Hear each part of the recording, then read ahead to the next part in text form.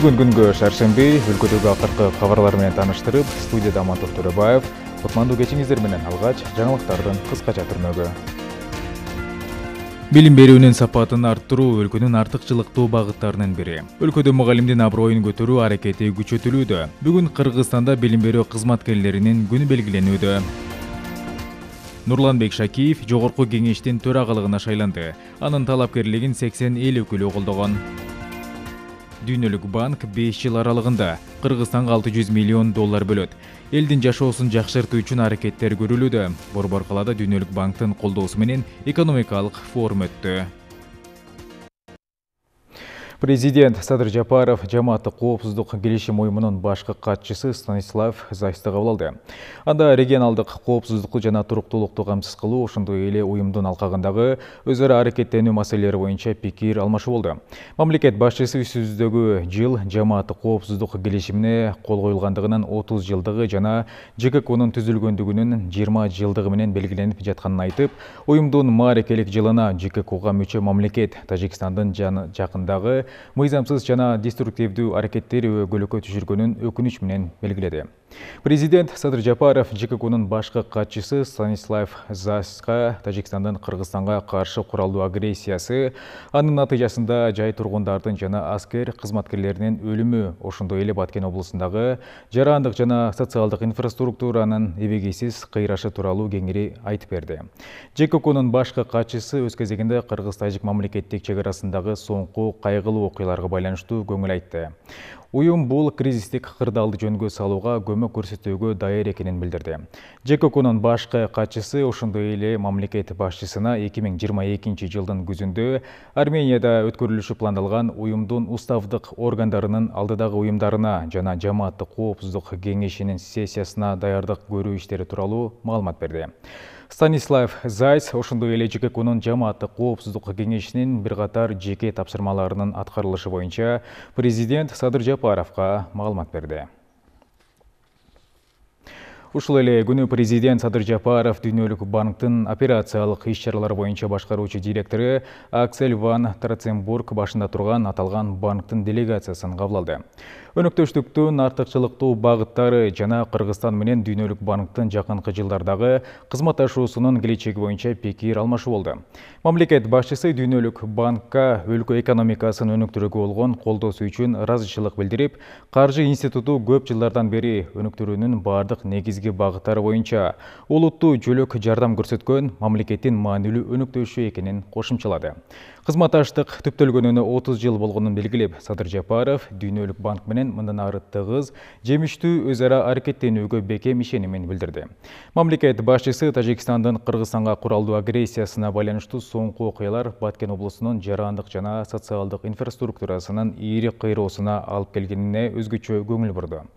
Дүйнөлүк банктын тажрыйбасын жана эксперттик мүмкүнчүлүктөрүн эске алуу менен президент садыр жапаров каржы институтунун көңүлүн агро өнөр жай комплекс туризм жеке секторду колдоо транспорт жана энергетика анын ичинде энергияны кайра жаратуучу булактар сыяктуу кызматташтыктын багыттарына бурду өз кезегинде аксель ван троценбург белгилегендей учурда кыргыз республикасы менен дүйнөлүк банктын ортосунда орто мөөнөттүү мезгилге жаңы алкактык өнөктөштүк программасын иштеп чыгуу боюнча иштер жүрүп жатат бул ал бул иштин алкагында дүйнөлүк банктын өкүлдөрү кыргызстандын тиешелүү мамлекеттик органдары менен тыгыз кызматташууга даяр экенине ишендирди мындан тышкары дүйнөлүк банктын башкаруучу директору саламаттыкты сактоо билим берүү тармагын өнүктүрүүнүн маанилүүлүгүн белгилеп адам укуктары маселелерине көңүл бурду жолугушууда энергетика жана социалдык өнүктүрүү тармагындагы долбоорлор боюнча келишимдерге кол коюлду документке кыргыз тараптан каржы министри алмаз бакетаев дүйнөлүк банктан борбордук азия боюнча директору татьяна проскорякова кол койду учурда приоритеттүү милдеттердин бири өлкө аймактарынын өзгөчө баткен облусунун экономикасынын комплекстүү өнүктүрүү болуп турат. Тилекке каршы коңшу өлкөнүн эки жолку былтыр эки миң жыйырма биринчи жылдын жыйырма тогузунчу апрелинде жана быйыл он төртүнчү сентябрдан он жетинчи сентябрга чейин агрессиялык кесепетинен улам абдан кыйынчылыкка кабылып турат. Ошентсе да кыргыз республикасы бул аймакты калыбына келтирүүгө жана өнүктүрүүгө багытталган кыргыз республикасынын баткен облусунун эки миң жыйырма биринчи эки миң отуз бешинчи жылдары өнүктүрүү программасын чечкиндүү түрдө ишке ашырууга белсенип турабыз. Үйлөрдү жана социалдык объектилерди курууга үч жарым миллиард сом бюджеттен бөлүп бердик. Эки айдын ичинде жашоочулардын үйлөрүн куруп берип киргизебиз деген максатыбыз турат анан жарым жылдын ичинде кудай буюрса жазга чейин өрттөп жиберген талкалап салган социалдык объектилерди бүтүрөбүз деп турабыз өткөн жылдын октябрь айында кыргыз республикасынын эки миң жыйырма алтынчы жылга чейин өнүктүрүүнүн улуттук программасы бекитилгенин дагы айта кетишим керек дүйнөлүк банктын тажрыйбасын жана эксперттик мүмкүнчүлүктөрүн эске алуу менен дүйнөлүк банктын агро өнөр жай комплекси туризм жеке секторду колдоо транспорт жана энергетика анын ичинде энергияны кайра жаратуу булактар сыяктуу кызматташтыктын багыттарына көңүл бурууну өтүнөм сиздерден ошол эле учурда дүйнөлүк банк менен кызматташуунун негизинде сан ариптештирүү жашыл экономика саламаттык сактоо жана билим берүүнү өнүктүрүү маселелерин түп өзөктүү максаттар катары көргүм келет дүйнөлүк банк алдыңкы 5 жыл аралыгында кыргызстанга 600 миллион доллар бөлөт. Бул тууралуу биринчи бишкек экономикалык форумунун жүрүшүндө аталган дүйнөлүк финанс мекемесинин башкаруучу директору билдирди. Бул каражат билим берүү энергокубаттуулук жана транспорт утуму сымал экономиканын өзөгү болгон тармактарды өнүктүрүүгө салынышы зарыл экени айтылды. Министрлер кабинети да кыргызстан бир катар ири долбоорлорду ишке ашыруу үчүн максаттардын коалициясын түзүп жатканын белгиледи. Форумдун жүрүшүнөн акмарал сабатардын репортажы улучшение качества и оптимизация приоритеттүү реформаларды ишке ашырууда эки тараптуу диалог аянтчасы түзүлдү. Биринчи бишкек экономикалык форумуна ушундай сыпаттама берилди. Министрлер кабинетинин төрагасынын биринчи орун басары адылбек касымалиев элдин жашоосун жакшыртуу үчүн баардык аракеттер көрүлүп жатканын айтып конкреттүү фактыларга токтолду. Айтымында кыркы сегиз ай аралыгында салыктарды чогултуу элүү төрт пайызга жогорулаган. Бирок мында салыктын жаңы түрү киргизилген эмес. Болгону тиешелүү тутумду уюштуруу жагы жакшыртылган. В 2021 году мы вышли на 326 миллиард сом былтыр өлкөнүн жалпы бюджети үч жүз жыйырма алты миллиард сом деп белгиленсе быйыл бул көрсөткүч төрт жүз жыйырма төрт миллиард болот деп күтүп жатабыз. Ал эми кийинки жылга консолидацияланган бюджетти беш жүз миллиард сомго чыгаруу талабы бар. Биз мамлекет жетекчисинин башкаруусунун алдында алдыбызга бир катар тапшырмаларды талаптарды коюп жатабыз. Биз дүйнөлүк банкка эки тараптуу кызматташууну өркүндөтүп алаканы мындан ары да бекемдөөгө чакырабыз буга чейин өлкөдө экономиканын потенциалына байланыштуу бир катар көйгөйлөр болуп келсе азыр кырдаал түп тамырынан өзгөрүүдө учурда министрлер кабинети ачык айкын иштөөгө багыт алды. Эч ким уурдабайт жана уурдоого да мүмкүнчүлүк бербейт деп айткым келет. Адылбек касымалиев дүйнөлүк банктын жетекчилигин кыргызстан ишке ашырууга бел байлаган. Кытай кыргызстан өзбекстан темир жолу жана камбар ата эки сымал ири долбоорлоруна жигердүү катышууга чакырды. Мындан тышкары кошуна өлкөнүн куралдуу кол салуусунан улам жабыркаган баткен айбагын калыбына келтирүүгө көмөктөшүүсүн өтүндү. Дүйнөлүк банктын жетекчилиги кыргызстан тараптан түшкөн баардык сунуштарга ачык экенин белгилешти. Быйыл биздин эки тараптуу кызматташтыкка отуз жыл толуп отурат бул убакыт аралыгында бир топ жемиштүү иш алып бардык дүйнөлүк банк тарабынан өлкөгө эки миллиард жети жүз миллион доллар финансылык жардам көрсөтүлдү биз мындан ары да кыргызстандын өнөктөшү болуп калууга кызыктарбыз бул жаатта өлкөнүн министрлер кабинети менен биргеликте беш жылдык стратегия иштелип чыкты анда өлкөгө алты жүз миллион доллар бөлүү каралган ошондой эле форумда президенттин администрациясынын саясий жана экономикалык изилдөөлөр башкармалыгынын жетекчиси жыйырма отуз деп аталган максаттуу долбоор менен тааныштырды. Кыргызстанды чөлкөмдө лидер кылууга багыт алган бул программада негизги басым билим берүү жана саламаттыкты сактоо тармагын өнүктүрүүгө арналган. Сегодня мы понимаем что думать. Учурда биз кризисти кыйынчылыктарды даана баамдап так сандар менен иштөөгө өттүк десем болот. Азыр жаман же жакшы дебей пайдалуу же пайдасыз деп гана бөлүшүбүз керек. Андыктан бир топ программалар иштелип чыгууда. Белгилеп кетүүчү нерсе кыргызстан билим тармагын өнүктүрүү менен бир топ жетишкендиктерди багындыра алат. Мисалы билимге деп коротулган бир доллар кийин он жети долларга чейин пайда алып келет. Иш чарага катышкан жергиликтүү серепчилер мындай диалог аянтчасынын түзүлүп жатканы бир катар маселелерди жеринен чечип алууга негиз болоорун белгилешти. Эл аралык өнүктүштөр бүгүн көп. Мындай статистикалык маалыматтарды геополитикалык ошондой эле дүйнөдө болуп жаткан тенденцияларды айтып беришти.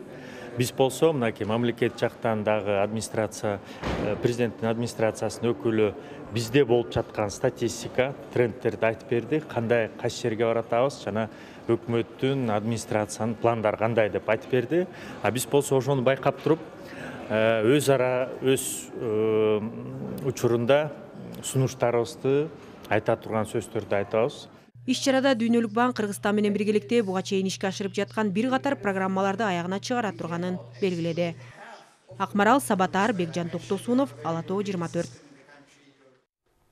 министрлер кабинетинин төрагасынын орун басары бакыт төрөбаев финансы институттарын баткен облусунун калыбына келтирүүгө көмөктөшүүгө чакырды мындай сунушта ал өлкөнү өнүктүрүү институттарынын координациялык кеңешинин жыйынында айтты.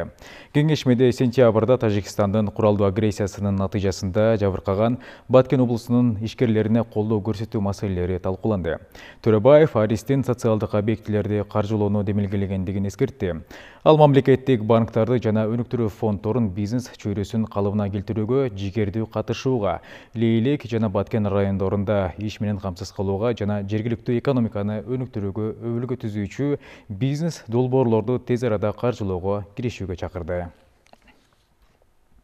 нурланбек шакиев жогорку кеңештин жаңы төрагасы болуп шайланды.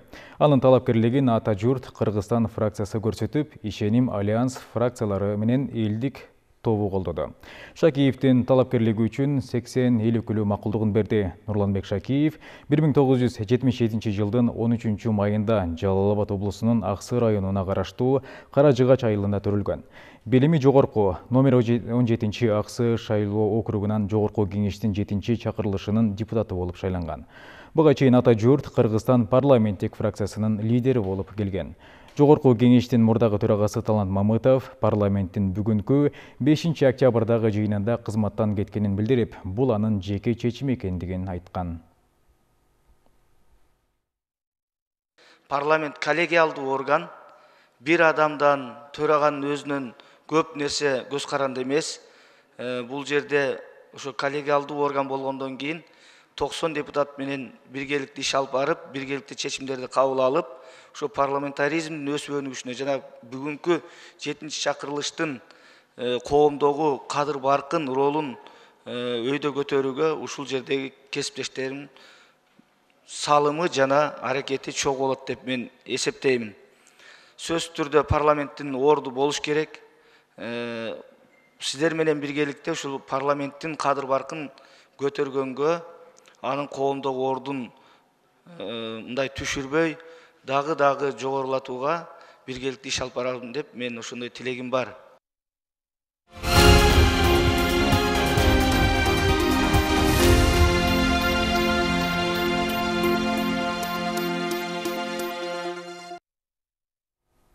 Бешинчи октябрь кыргызстанда билим берүү кызматкерлеринин күнү. Педагогдорду жана билим берүү тутумунун кызматкерлерин кесиптик майрам менен президент садыр жапаров куттуктады мамлекет башчысынын агартуучуларга каалоо тилегин толугу менен беребиз. Урматтуу эже агайлар өлкөбүздүн билим берүү тармагынын өкүлдөрү келечегибизге билим үрөөнүн сээп келе жаткан замандашыбызды бала бакча тарбиячылары менен мектеп мугалимдерин кесиптик жана жогорку окуу жайлардын окутуучулары менен профессорлорун жалпы эле билим берүү мекемелеринин кызматкерлерин кесиптик майрамы билим берүү кызматкерлеринин күнү менен куттуктайм. Өтө чыдамкайлыкты талбаган эмгекти талап кылган мугалимдик кесиптин коомду калыптандыруудагы жана өркүндөтүүдөгү мааниси зор. Мына ошондуктан мугалимдер менен окутуучулардын мээнети терең сыйга татыктуу.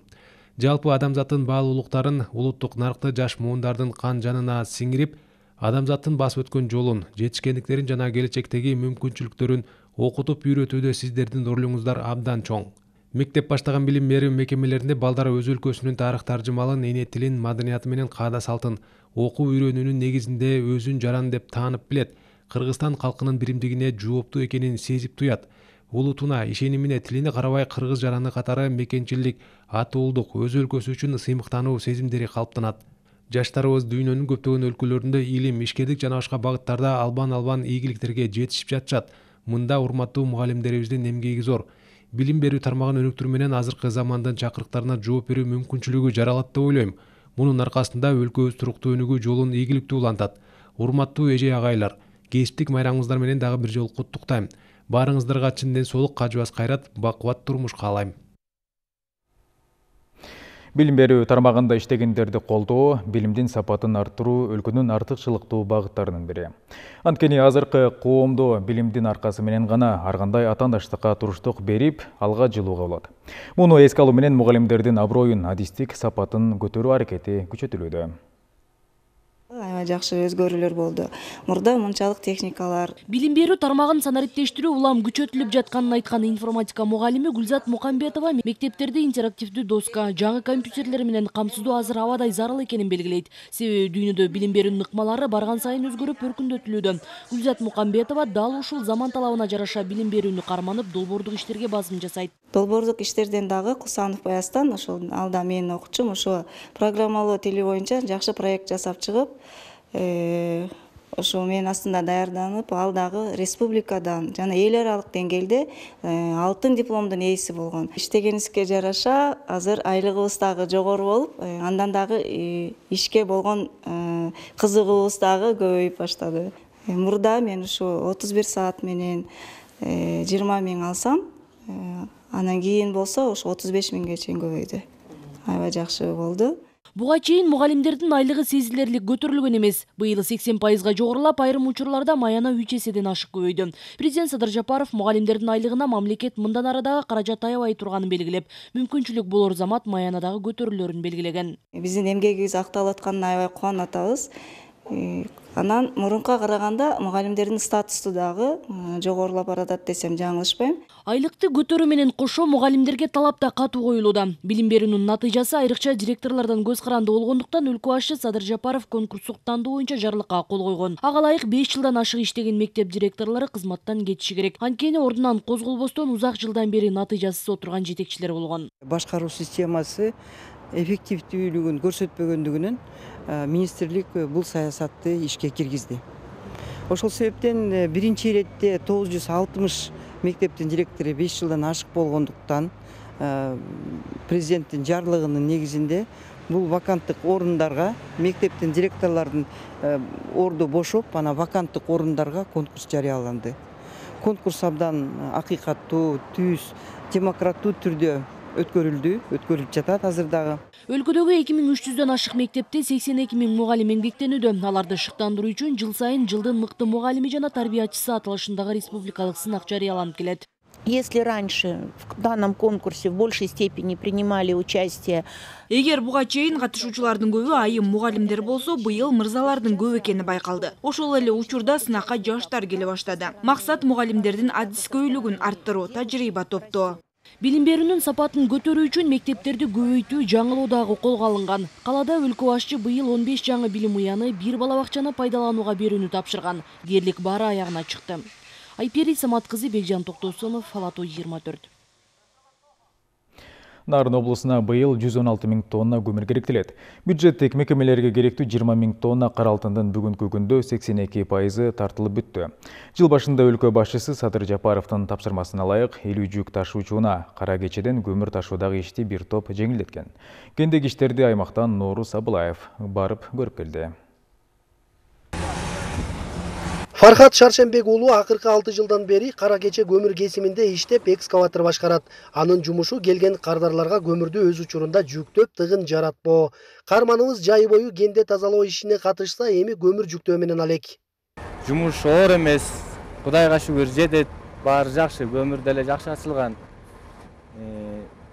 келген машинаны тынымсыз кетиребиз иш жакшы эле кудайга шүгүр кара кечеде бүгүнкү күндө эки жүз миң тонна көмүр отуну даяр. Учурда кенде иштеген кызматкерлерде тыным жок бир суткада эки жүз унаага көмүр жүктөлүп жатат. Учурда аба ырайынын сууктап жатышынан улам көмүр алууга келген унаалардын санарбын бирок кенчилер тыгын жаратпаш үчүн өз убагында тартип менен унааларды киргизип чыгарууда. Өзүңүздөр көрүп аткандай жыйырма алтынчы профилде эки жүз миң тонна көмүрүбүз турат ошондой эле тазалоо иштери жүрүп атат биякта машиналар жылуулук электроборборуна тэцке жүз машина кетип атат. Э, отбор кесек көмүргө жүз машина кетип атат. Суткасына эки жүз машина кетирип атышат. Азыр эми сезон уже күн сууктаганга байланыштуу машина көбөйүп атат. Ошондой эле биз деле көмүр жүктөөлү экскаваторлорду көбөйтүп көбүрөөк жүктөгөнгө аракет көрүп атабыз. Эми келгенибизге жакшы эле болуп атат бир сутка жатып айланып чыгып атабыз. Кудай буюрса мына кирдик. Кечээ келгенбиз бүгүн кирдик. Эми жүктөп алып чыгабыз кудай буюрса. Былтыркыдан быйыл арзан болуп атат көмүр жакшы. Былтыр аябай ажиотаж кымбат болуп кеткен быйыл эрте башталган үчүн эртерээк болуп элдер эртерээк көмүр алышып уже калышты да асты.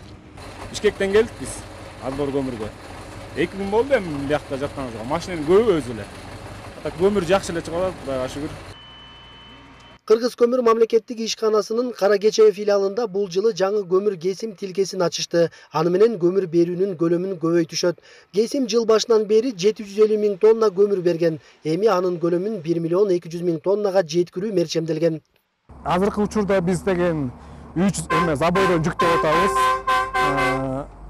ачык көмүр эки жүз элүү үч жүз миң тоннадай көмүр ачык бар азыр эки миң жыйырма экинчи жылдын жыйырма алтынчы сентябрынан баштап бизге жаңы лицензия берилди бул болсо восточный тилкеси азыр ал жактан дагы тазалоо иштери жүрүп и параллельно кайра эме көмүрдү да өндүрүп бүгүнкү күндө эме бишкек тэцке эме көмүр эме кетирип атабыз ал эми көмүр касуу жана аны жүктөө баардыгы техникага байланыштуу. Жыл башында өлкө башчысы садыр жапаровдун тапшырмасы менен берилген элүү жүк ташуучуна бүгүнкү күндө кара кечеден балыкчы шаарына көмүр ташуу менен алек.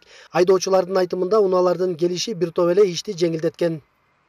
Садыр нуркожоевичке алла ыраазы болсун бизге ушул жаңы машиналарды алып келип берип аябай жеңилдик болду да элге элге да жакшы болду эми буга чейин кудайга шүгүр баягы камаз менен чоңойдук бирок камазды баягы эски камаздарды оңдоп түздөп жүрчүбүз да эми камаз да жаман эмес жакшы машина бирок эми садыр нуркожоев ушунун баарын алып кичине бизге жеңилдик болду машиналар жаңы болуп кара кече көмүр кесиминде буга чейин жыйырма төрт жерде видео көзөмөлдөр орнотулса учурда да коопсуздук максатында күчөтүлгөн онлайн байкоолор иштеп жатат нооруз абылаев ала тоо жыйырма төрт нарын облусу Қыш мезгілінде электр энергиясы менен жылытылып келген Жалал Абад шаарындагы көп кабаттуу үйлөр борборлоштурулган жылытуу тутумуна кошулууда. Быйыл 10 үйдү туташтыруу пландалып, азыркы тапта тиешелүү иштер жүрүп жатат. Райхан Усманова жашаган көп кабаттуу үй буга чейин борборлоштурулган жылытуу тутумга кошулган эмес. Жашоочулар батирлерин жылытууда кышкысын электр жылыткычтарды пайдаланышкан. Эми жылытуу мекемесине туташкан турат. Самодельный отоплениеңиз көп жазат да үч миңден төлөп аттык төрт миңден төлөп аттык. Эми жылуулук сал арзаныраак дешет го инан үйдө жылуу болуп турат да постоянно жумуштан келгениңде эки бөлмөлүү бул үйүбүз ошондо расход отуз беш миңдей кетти да. Батарейка установкасы менен трубалар немелерди алдык крандарды. Чугунный жакшы жылытат дегенден ушу чугунныйдан койдук да кыргыз жылуулук энерго мамлекеттик ишканасынын жалал абад райондор аралык бирикмесинин филиалы калаадагы көп кабаттуу үйлөрдү борборлоштурулган түйүнгө кошуп келүүдө. Быйыл он үйдү кошуу пландалган. Жылуулук мекемеси негизги магистралдык куурун көп кабаттуу үйгө чейин тартып берет. Ар бир батирдин жашоочулары үйлөрүнө системаны орнотуу монтаждоо иштерин өз эсебинен жасатат. Бригадамда үч дом бар. Анан үч домдун трассасын коштум. И муну менен төрт домдун трассасын кошом быйыл. Мен өзүм бригадам менен. Анан жителдери ичиндеги немелер эми секин секин кыймылдап атышат да баягы жылуулук кандай иште соседтерден көрүп көбү кошулгандар кошулабыз деп чуркап атышат азыр азыртан ага чейин баягы көрүшкөн эмес да биз кошкон домдордун жанындагы домдор кошулуп атат. Көп кабаттуу үйлөрдү кошуу иштеринен сырткары насос цехтери жылуулук түйүндөрү оңдоп түзөөдөн өткөрүлгөн. Жылуулук берүү мекемесинин он тогуз отканасы бар. Кыш мезгилинде эки миң сегиз жүз тонна көмүр керектелет. Алты мазут азыр быйыл кошулгандар менен алты көмүр менен иштейт калганы газ менен иштейт калгандары котельнийлерибиз кышка даярдык боюнча көмүрлөр заготовкалар болгон мазут дагы азыр уже бүгүндөн баштап ташыла баштайт мазуту дагы даярдап кышка даярдап коебуз проблема болбойт менимче кыргыз жылуулук энерго ишканасынын жалал абад шаарындагы филиалы калаадагы сексен көп кабаттуу үйдү жалпысынан эки миң эки жүздөн ашуун абонентти жылуулук менен камсыздайт. Андан сырткары отуздан ашуун бюджеттик жана коммерциялык мекемеге жылуулук берет. Осмон уламсадыр уулу алмаз саттаров ала тоо жыйырма төрт жалал абад шаары. Дүйнөдөгү эң бийик чокулардын бирин багындырган кыргызстандык альпинисттер жеңишин мекенине арнады. Алар бийиктикте желбиреген желекти көп улуттуу өлкөнүн ынтымагы бекем болсун жана бир туунун алдына бири деген максатта президент Садыр Жапаровго тапшыруу чечимин кабыл алышкан. Эскерте кетсек, алгачкы атамекендик экспедиция Гималайдын Манаслуу чокусун багындырды.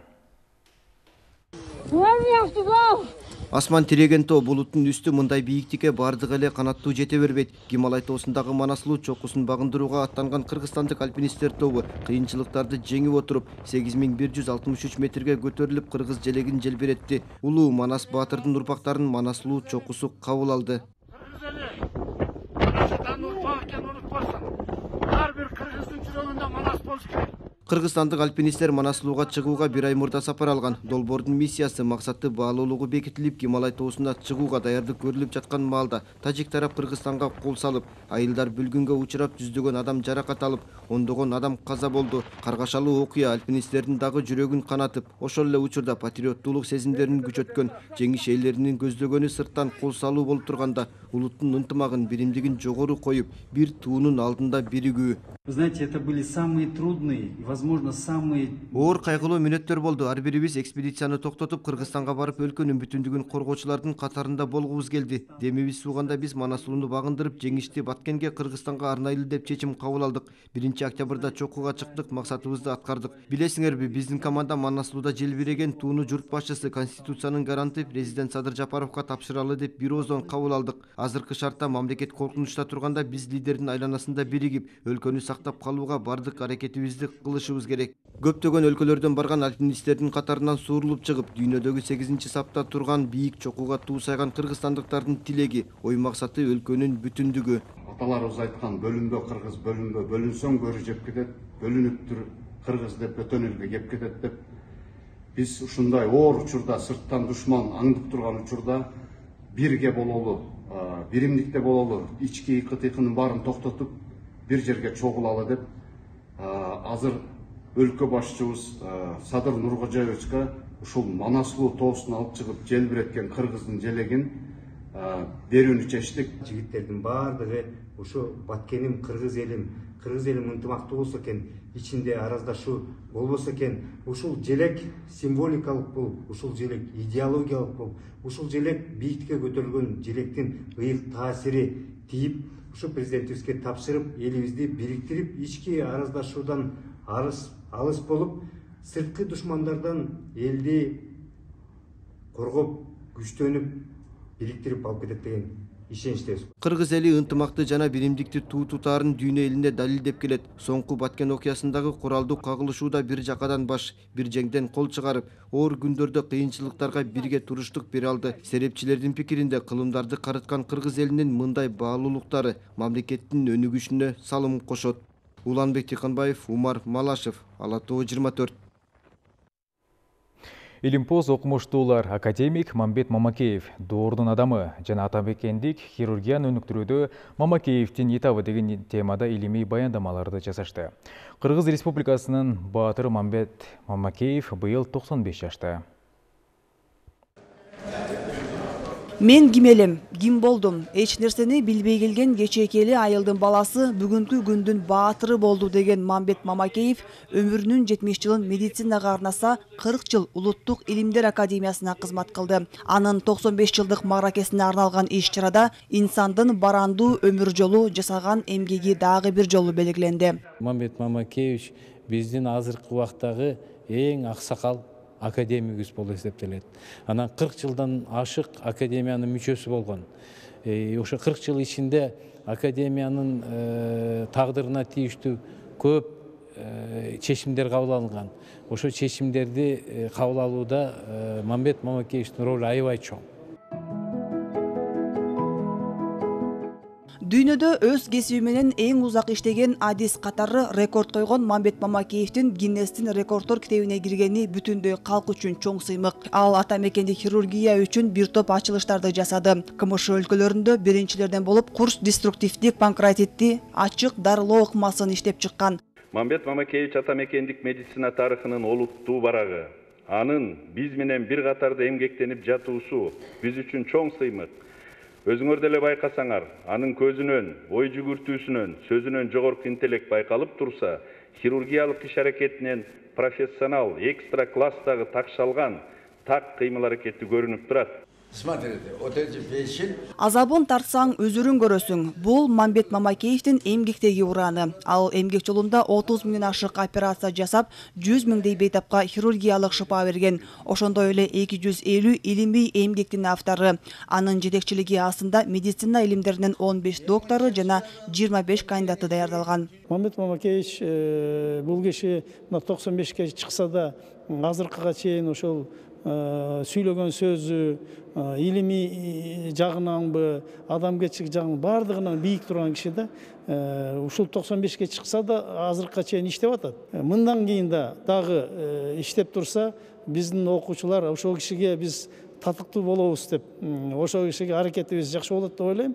Давление, пульс, все показывает аппарат. мамакеевдин эгер адам алдына максат койсо кыйынчылыкка чыдаса ар кандай тоскоолдукка баш ийбейт дегени бар. Белгилүү хирург максаты көчүрмөнүн эмгеги жана илимдеги жетишкендиктери үчүн мамлекеттик даражалуу бир топ сыйлыкка татыды. Окумуштуулар белгилегендей кыргыз медицинасынын даанышманы мамакеев доордун адамы деп аталып калды. Айжамал болот кызы нуркамил асанов ала тоо жыйырма төрт Ишеналы Арабаевтың 140 жылдығын белгілеуінің алқағында ағартушыға тайзым аттуу иш-чара Илимпоздун ысымын алып жүрген окуу жайда өтті. Анда ағартушылық кесиптин маанилүүлүгү жана жоопкерчилик жүктөлгөнү белгиленди. Жыйырманчы кылымдын башындагы кыргыз элинин кат сабатсыздыгын жойгонго күчүрөгөн ишеналы арабаевдин жүз кырк жылдыгына жана улуу илимпоздун ысымын алып жүргөн университеттин түптөлгөндүгүнүн жетимиш жылдыгына арналган иш чара мугалимдер күнү болду. Бул материалдык техникалык базасы калыптанган жогорку окуу жай педагогдорду даярдайт. Студенттердин саны он төрт миңге чамалайт. Окутуучулук курамы сегиз жүз элүү адис. Анын отуздан ашуunu илимдин доктору жана кандидаттары. Мамлекет агартуучуларга көрүп жаткан колдоодон улам. Быйыл бул кесипти аркалагысы келген. Жаштардын саны өскөн. Быйылкы окуу жылыбызда дагы ушул мугалим болом деген дилгир студенттерибиздин саны өтө көп болду. Бизге э, алтын сертификатка ээ болгон жана ошондой эле жогорку жалпы республикалык тестирлөө м, негизинде жогорку э, баллга ээ болгон көптөгөн студенттер келди да баягы келечекте максаттуу мугалим болом деген. Ишеналы арабаевдин илимде орду зор. Алипенин автору бир миң сегиз жүз сексен экинчи жылы кочкор районунун күн батыш айылында жарык дүйнөгө келген. бир миң тогуз жүз жүзүнчү жылы жергиликтүү мектепти аяктаган соң он жылга жакын кыргыз айыл кыштактарында мугалим болуп эмгектенген. бир миң тогуз жүз онунчу жылы ал россияда окуган кийин көл жана нарын аймактарында мектеп ачып элдин сабатсыздыгын жоюу үчүн жан үрөп иштей баштайт. Анын максатына үркүн тоскоол болот. Кытайдан кайтып арабаев совет бийлигинин тушунда бүтүндөй өмүрүн калктын билимдүү болушуна арнаган. Баардык жолду басып өткөндө алиппени биринчи жазган киши. Э, ылдам тез окутууну окууну дагы ошол да- да эметип кеткен жолго коюп кеткенде анан кийин көптөгөн кыргыздын э, тамга тааныбаган билими жок. Балдарды окуткан адам болгон болчу. Самолет менен жетпеген транспорт менен жетпеген жерге ошо он биринчи жылдары он экинчи жылдары уфада жүрөт. Андан кийин канча дагы барган.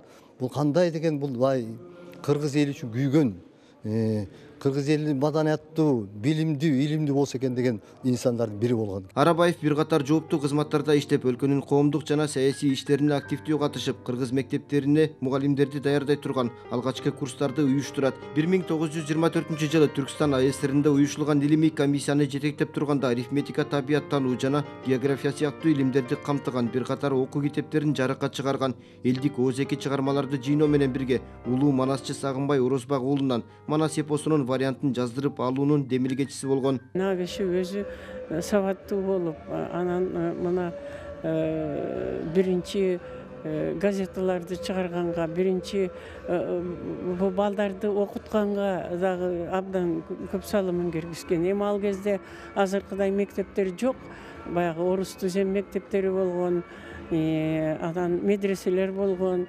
Мына ошондон окутуп анан жаңы программаларды түзүшкөн ишеналы арабаевдин ролу абдан чоң болгон. Ишеналы арабаев репрессиянын курмандыгы болгон. Бирок анын эмгеги унутулган жок. Жүз кырк жылдыгына арналган иш чарада өзүндөй болуп өмүрүн билимге арнаган ардактуу кесиптин мыктылары сыйланды. Уланбек тыйканбаев умар малашев. Ала тоо жыйырма төрт. Гиннестин рекордтор китебине кирген манасчы Рыспай Исаков мекенине келди.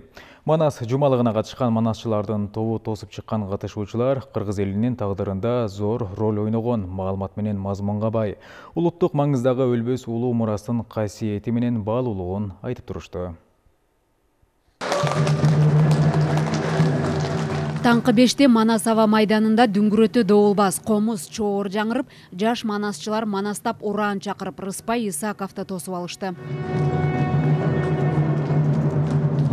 рыспай исаков манас айтууга баардык болуп жүз отуз саат сарптады атайын комиссиянын чечими менен жүз жыйырма төрт сааты каттоого алынды буга чейин манас гиннестин рекордтор китебине эң көлөмдүү эпос катары кирсе эми аны айтуу өнөрүнүн өзгөчөлүгү далилденди президентибиз садыр нуркожоевичтин дагы атайы указы чыккан манасты пропагандалоо боюнча атайы концепция иштелип биз э, буга чейин манас эпосун жазып алуу аны манасчылардын оозунан жазып алуу процесси анан аны э, улантуучуларды даңазалоо деген бир процесстер жашап өткөн.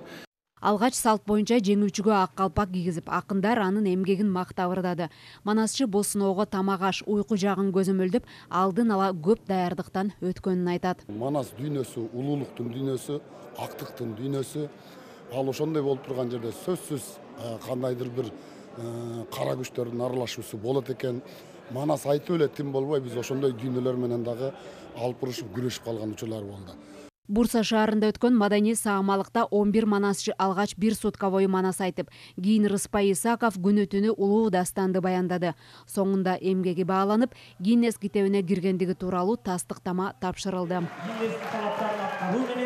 китепке катталды жыйырма экисинде баштаганбыз рыспай агайдын манас айтуусун ошондо жүз отуз саатка жакын манас айтып анын ичинен жана өзүңүздөр көргөндөй жаңылып жазатайып уйку калтырып аткан жерлерин нурбек нурбек самат самат эшикти жап деген саптардын баардыгын кыйналып атканда уйку өзүнүн ишин кылат экен күлкү экөө кыргыз баярттан айтат го күлкү менен уйкуга ар жок деп. Ошондой нерселерин кылып аткандары бар. Алып тазалап отуруп анан жүз жыйырма төрт саатты таза манас кылып гиннес өзүнө каттады манас эпосу алгач ооз эки башталган улуу чыгарма катары кылымдар бою сакталып келген. Андан кийин гана кагаз бетине түшүрүлүп азыркы тапта кыргыз эле эмес жалпы түрк дүйнөсүндө көчмөн элдин тарыхында өзүнүн орду бар улуу мурас катары жашап калды. Узакка айтуунун алкагында өзгөчө бир куштарланып турду деп ойлойм. Анткени негизги эле дүйнөдөгү түрк дүйнөсү эмес негизги эле ааламдагы эпостордун көбү узакка эмес. Кыска мөөнөттөгү айтуучулук дагы токтоп калган себеби жансыз эпостор абдан көп тирүү баягы аткаруучулар аткарбайт ал китеп бетинде гана калган эпостор. Ошондуктан узак айтуу дагы бул манасчылык өнөрдүн бир өзгөчө сыймык колдугу деп ойлойм манастагы баатырлык улуттун биримдигин сактоодо. Карт тарыхты эске салган элдин ынтымагын бекемдөөдө негизги ураан катары калыптанган. Андагы жер суулардын аталышы ар бир каарман. Алардын эрдиги байыркы көчмөн элдин унутулгус тарыхынан кабар берет. Элиза нурматова рыскелди көкүлбеков ала тоо жыйырма төрт бүгүнкү программабызды мына ушундай жаңылыктар менен жыйынтыктайбыз бул жана башка кабарлар ала тоо жыйырма төрт мобилдик тиркемебизге да жайгаштырылды көңүл бурганыңыздарга рахмат. Саламатта калыңыздар